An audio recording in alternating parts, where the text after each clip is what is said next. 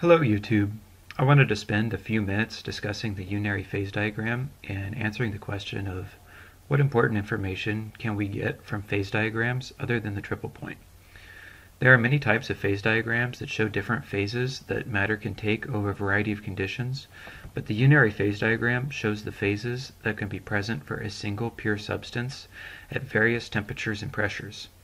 Along the x-axis of the diagram, we have temperature, and along the y-axis, we have pressure. And uh, as we mentioned earlier with the triple point, that's right here, front and center. And uh, this is a unique temperature and pressure for each um, substance in which all three states of matter can kind of simultaneously coexist. And uh, if you were slightly bumped out of this point along the temperature or the pressure, you would either move into um, you would move into one of these phases. As to what more you can learn from a phase diagram uh, besides the triple point, there are three lines on phase diagram which show various phase changes.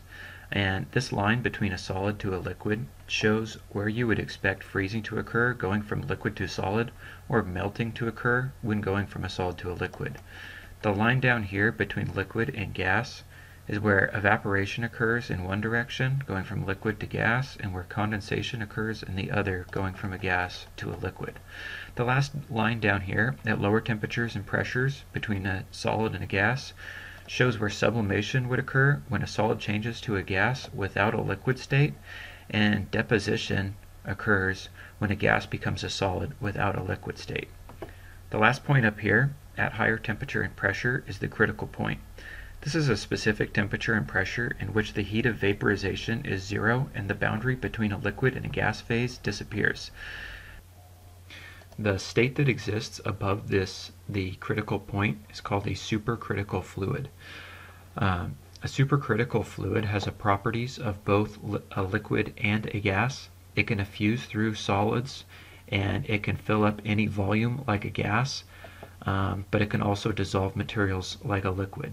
In fact, supercritical fluids dissolve things very well and are commonly used to dissolve caffeine out of coffee beans or other extracts out of plants without using any potentially harmful solvents. Unary phase diagrams are also important in thermodynamics because we're working with dynamic systems and uh, have fluids doing work and transferring energy over a variety of changing conditions. A diagram like this really helps conceptualize how a material behaves at conditions that can be very different than the ones that we live in every day. I have a handful of um, example phase diagrams here to discuss. And uh, the first one here is water. Water is a good phase diagram to discuss as we see and live with the phase changes of water on a daily basis. Um, we can see here the slope of the line between the solid and the liquid um, slopes in a way that the freezing point of water decreases as the pressure increases. This is actually opposite to how most materials behave, and I think it's kind of interesting to think about because if you were to isothermally decrease pressure at around 0.005 C, you could pass from a liquid to a solid to a gas, which is pretty cool. Uh, we also see that we wouldn't expect to see sublimation of water unless we got below 0.006 atmospheres. And uh, the critical point is uh, pretty high. It's 217 um, atmospheres and uh, 374 um, degrees Celsius. The next phase diagram is CO2, and uh, I chose this one because um, most of us know that CO2 sublimates at um, atmospheric pressure and that a block of dry ice will become a gas without melting. Um, also, if you work with CO2 tanks, it's usually stored um, pressurized as a liquid, and you can hear it sloshing around in a tank, um, even though it's never a liquid at atmospheric pressure. Um, also, the critical temperature and pressure for CO2 is pretty low at uh, 73 atmospheres and only 31 degrees Celsius. Um, so that's just above room temperature. Um, this makes it fairly easy to work with as a supercritical fluid, and there's even some videos out there of CO2 changing from a liquid to a supercritical fluid stored in a glass container. It's very usable at these temperatures and pressures for the non-toxic caffeine extractions.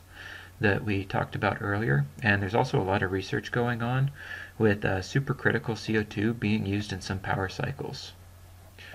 The next phase diagram I wanted to talk about is acetone, and uh, this one isn't particularly exciting, but I just wanted to include a solvent, and I wanted to show that this line that goes between solid and liquid is usually sloped opposite to water, in which at higher pressures the melting point would increase. Um, this also has a um, critical point in which it's at a lower pressure than CO2, but it's at a uh, quite a bit higher temperature, and uh, I thought that was kind of interesting. The last thing that I wanted to come to before ending this video is just water again, and this is just a more complex phase diagram, and this diagram shows the various phases that can exist within ice. Ice can form, I think, like 18 different crystalline phases and three amorphous phases that have been discovered, uh, but most of these are at very um, exotic temperatures and pressures. Anyways, I hope that this video was helpful and you learned something. Thank you for viewing.